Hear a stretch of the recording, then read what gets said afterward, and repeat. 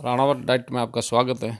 जय श्री रामा कृष्ण आज आपको मैं एक विशेष वीडियो बता रहा हूँ, जिसके अंदर मुझे बड़ा दुख हो रहा है कि एक गाली शब्द का इस्तेमाल लेना पड़ेगा।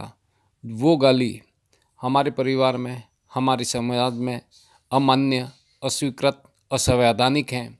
इसलिए मैं ये वीडियो बनाने से पहले मेरे दादा के परिवार मेरे पिता के परिवार और मेरा परिवार और आने वाली पीढ़ी और मेरे समाज से क्षमा चाहता हूँ कि मैं इस अशोभनीय, अमर्यादित असंवैधानिक शब्द का इस्तेमाल ले रहा हूँ, जिस शब्द को दुनिया में गाली के रूप में जाना जाता है, उसको इस प्रकार कहते हैं गंडमरा।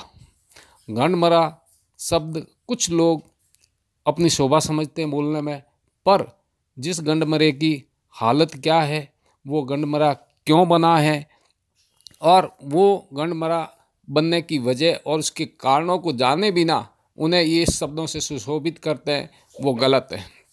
ये सब जानने से पहले अगर आप मेरे चैनल पर नए हैं, चैनल सब्सक्राइब करें, वीडियो लाइक करें और अधिक से अधिक शेयर करें। मैं डॉक्टर गुना सिंह राणावत, साइकोलॉजिस्ट और डाइटिशियन, आज आपको बता रहा हूँ कि गंडमरा किसको कहते हैं और उनके क्या क्या समस्याएँ आती है, उस समस्याओं को मैं उजागर कर दूँ। उससे पहले ये भी बता दूँ कि अगर ज़िंदगी में कोई साथी लाचार हो जाए या कोई परिवार का सदस्य लाचार हो जाए तो उसे छोड़ना नहीं चाहिए, उसे संभालना चाहिए। संभालने वाले बहुत कम हैं। इसलिए मैं उनके लिए आज ये सारा वर्णन बता रहा हूँ कि जो गे हैं, वो बनते क्यों हैं? कैसे बनते हैं? और उनके कारण क्या है? और आने वाली उनकी क्या समस्याएँ हैं?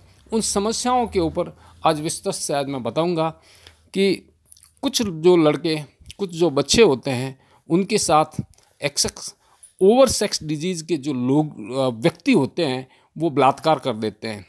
उन बच्चों के साथ में बलात्कार होता है, वो बच्चे किसी को बता नहीं पाते। और फिर डरा धमका के उनको रख लिया जाता है फिर एक दो बार होने के बाद में वो एक आदि बन जाते हैं, उन्हें एक लत लग जाती है, किसी शराबी की तरह, किसी गांजे या भाँग या नशेड़ी की तरह।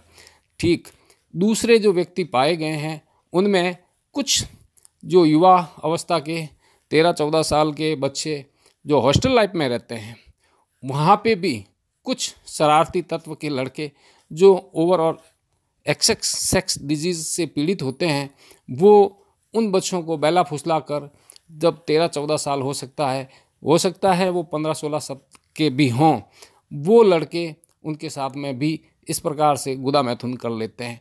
उन्हें फिर एक लत हो जाती है और समाज में जब किसी दूसरे को अगर गंडमरा नाम से पुकारा जाता है, तब उनके मन में हीनता आती है कि शायद मुझे तो नहीं कहा गया।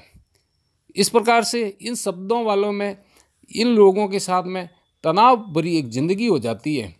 और उनमें क्या क्या दिक्कत आती है, वो दिक्कत आज मैं आपको बता रहा हूँ। जैसे मैरिज लाइफ होती है, उसके अंदर वो अयोग्य पाए गए हैं। उनके अंदर शादी करने से पहले वो लड़के मना कर देते हैं कि मुझे शादी नहीं करनी। क्योंकि उनके अंदर मर्दानापन की जो क्षमताएँ हैं या योग्यताएँ हैं, वो मानसिक रूप से खो चुके होते हैं। तो वैवाहिक जीवन में अयोग्यता पाई गई है। स्त्री में उन्हें अरुचि रहती है। स्त्री से उन्हें कोई लगाव नहीं रहता है। स्त्री से हमेशा अलगाव होता है। पलायन की इच्छा होती है घर से। स्त्री में कोई रुचि नहीं होना अपना दायित्व भूल जाता है। उन्हें लड़कों के प्रति आकर्षण ज़्यादा रहता है, पुरुषों के प्रति आकर्षण रहता है और हमेशा इसी विचारों में उलझा रहता है कि सुंदर, स्मार्ट अच्छा हैंडसम बॉय कहाँ मिले। और मैं उससे गुदा मैथुन करवाऊँ। इस प्रकार वो नामर्द वैवाहिक जीवन में साबित हुए हैं, जिसको मैरिज लाइफ डिसएबिलिटी भी कहा जाता है। और दूसरा जो देखा गया है, सामाजिक अयोग्यता सोशल डिसेबिलिटी ऐसे लोगों में जो गणमरे पुकारे जाते हैं, उनके अंदर मानसिक रूप से दुर्बलता आ जाती है। यौन अपराध करवाने में अज्ञान के कारण सहायक हो जाते हैं वो लोग, और आत्मसंयम का अभाव पाता जा, पाया जाता है। जिसमें सेल्फ रेस्टेन कम होता है और एक ही दिमाग में बात रहती है कि गुदा मैथन से लगाव कैसे हों और वह ओसीडी के पीड़ित हो जाते हैं। फिर उसके अंदर आत्मरक्षा, वो भी कमज़ोर पाई जाती है।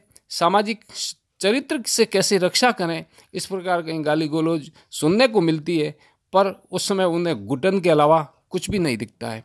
फिर इनकी आत्मनिर्भरता है वह बड़ी कमज़ोर हो जाती है। कहीं भी प्रतिस्पर्धा कमाई में पिछड़ जाते हैं और हमेशा सेल्फ डिपेंडेंसी में कमज़ोरी रहते हैं और पीछे भी देखे गए हैं। दूसरे आत्मसम्मान। इनमें फिर आत्मसम्मान कमज़ोर हो जाता है सेल्फ स्टीम बहुत ही कमज़ोर हो, जाती है और हमेशा तनाव बढ़ा रहता है। फिर किसी को कह नहीं सकते सह भी नहीं सकते और फिर ऐसी गंदे आदत से रह भी तो नहीं सकते। हैं फिर आत्मविश्वास होता है वो बड़ा कमज़ोर हो जाता है, जिसमें सेल्फ रिलायंस कमज़ोर पाने से उन्हें हमेशा आत्मविश्वास हर समय कमज़ोरी दिखता है, वहम की नज़र से रहते हैं और किसी की जगह पे भी वहम की शिकायत करते पाए गए हैं। फिर शिक्षा या प्रशिक्षण में अपर्याप्तता कुछ लड़के जो पढ़ते हैं, उनमें प्रशिक्षण की अवस्था में या पढ़ाई की अवस्था में या शिक्षा जो ग्रहण करते हैं, उस समय मन नहीं लगता है। उन्हें दिमाग में एक ही लगता है कि सुंदर अच्छा बलिष्ठ साथी कौन है? उस लड़के के प्रति या पुरुष के प्रति दे दर्शन दिमाग में घूमते रहते हैं। शिक्षा व प्रशिक्षण में बाधा आती है, जिसमें तनाव उत्पन्न होता है। इस प्रकार जो व्यक्ति होते हैं, उनमें सीमित प्रेरणा और संवेगों में भी कमी पाई जाती है। सामाजिक प्रेरणा कम देखी गई है वो कभी हमारे समाज के अच्छे रोल मॉडल के प्रति ध्यान नहीं जाता है कि हमारे अच्छे रोल मॉडल महाराणा प्रताप हुए हैं या शिवाजी हुए हैं अथवा अब्दुल कलाम हुए हैं, जैसे लोगों पे नज़र नहीं रहती है। उन्हें जिसमें परिस्थिति के अनुकूल कोई भी संवेग आता है तो वहाँ पे अभाव पाया जाता है। जैसे शादीशुदा होकर भी अपनी जीवन साथी से मैथुन करने में असमर्थ होते हैं और जब नामर्द साबित होते हैं, तब तनाव उत्पन्न करता है। कुछ लोगों में फिर संज्ञात्मक दुर्बलता भी पाई गई है, जो कॉग्नेटिव डिफिशियंसी में तनाव भरा हुआ रहता है। ये सब होने के बाद संज्ञात्मक दुर्बलता आई जाती है। स्मृति मेमोरी जिसमें अवरुद्ध हो जाती है, कुछ याद नहीं रहता है भूल जाता है। ध्यान होता है, वो एक स्थान पे नहीं रह सकता अटेंशन की पोजीशन में आदमी नहीं रहता है, पर मन नहीं लगता है। चिंता होते होते चिंतन खराब हो जाता है, जिसमें थिंकिंग अच्छे बुरे का फैसला नहीं कर पाता है। और प्रत्येक क्षण परसेप्शन अविकसित हो जाता है कि मुझे अब वर्तमान में क्या करना है, नहीं करता है। फिर मानसिक घुटन और आत्महत्या के विचार आ जाते हैं। तनाव हो जाते हैं, कुंठा आती है, मना, मन में घुटन रहती है, आत्महीनता होती है और हमेशा तनाव तनावग्रस्त रहता है। व्यवहार व शारीरिक रूप से संवेगात्मक रूप से परिवर्तन आ जाते हैं। फिर दुर्बल निर्णय क्षमता होती है, निर्णय कर नहीं सकता। उत्तरदायित्व नहीं ले सकते वो लोग, और संबंधों से बचते हैं। कहीं पे भी रिश्तेदारी में आना, जाना, वहाँ पे वो हिम्मत नहीं कर पाते हैं और घबराते रहते हैं और स्वयं की अपेक्षा करते हैं। स्वयं पर पीड़ा व्यवहार में सहमत है, मानसिक थकान बढ़ जाती है उनकी, चिंता, चिड़चिड़ापन, उदासीनता हो जाती है और इस अवस्था में आदमी किसी साइकेट्रिक के पास पहुँचता है कि मुझे गैस हो रही है, सर दर्द हो रहा है, कि उसके कारण तो वो बताता नहीं है कभी भी वहाँ डॉक्टरों के पास में जाके। डॉक्टर क्या करते हैं? उसमें उनकी नज़र से जो चिंता रोधी दवायाँ हैं, वो दवायाँ शुरू कर देते हैं और दो साल, तीन साल दवा खाते हैं। पर जो बीमारी क्यों हुई उसके लिए न तो साइको टेस्ट कोई लेता है, न साइको टेस्ट करवाते हैं। इन्हें पता नहीं कि इसके साइको टेस्ट भी होता है। मनोवैज्ञानिक परीक्षण होता है। आपके अंदर क्या समस्या है, वो एक मनोवैज्ञानिक बता सकता है। इसलिए आप अपने निकट चिंता ना करें। चिंता जैसी कोई बात नहीं है। आप अगर अपने किसी निष्कट मनोवैज्ञानिक के पास जाएँगे और वहाँ पर अगर आप इसका उपचार कराएँगे या उसका परीक्षण कराएँगे तो पता चलेगा। और जिन लोगों को ये समस्या है, वो लोग घबराए नहीं। वो आप हमेशा अपने साथी या आपका परिवार में कोई सदस्य या आप स्वयं पीड़ित हैं तो आप मनोवैज्ञानिक को दिखाएँ निकट।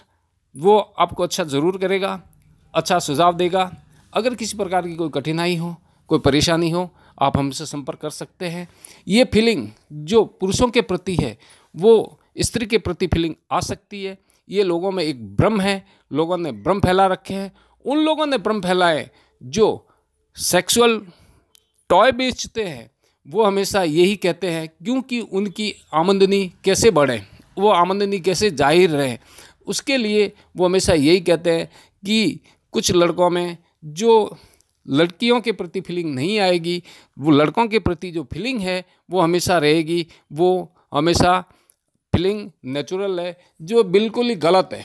उन लोगों को अपने हथकंडे अपनाकर, अपने प्रायोजित जो सामान है, वो बेचने होते हैं और कुछ लोग फिर सारे इसको हवा हवा कर देते हैं कि गे एक नेचुरल फीलिंग है, बिल्कुल गलत है, इस तथ्य को हम नहीं मानते हैं और इसका आप उपचार कराएँ। निश्चित है, आपका इलाज होगा, आप स्वस्थ होंगे, आप मस्त होंगे और वैवाहिक जीवन आपका उत्तम होगा, ये हम कामनाएँ करते हैं।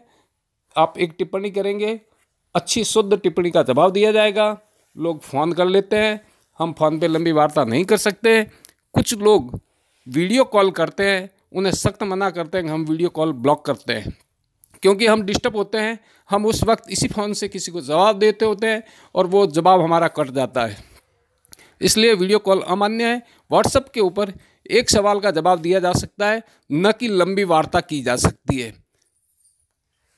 देखते रहिए, मेरे नए अपडेट वीडियो में मिलते हैं। तब तक के लिए जय हिंद।